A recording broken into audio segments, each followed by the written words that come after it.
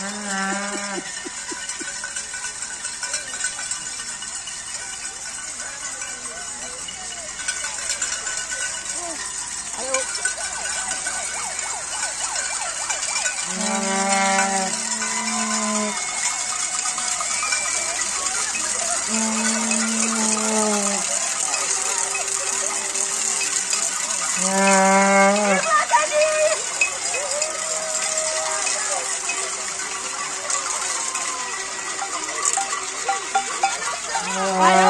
Це як колір прапора французького. Синій, білий і червоний.